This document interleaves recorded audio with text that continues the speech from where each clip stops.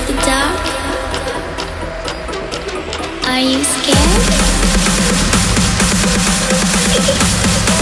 You know, I am you.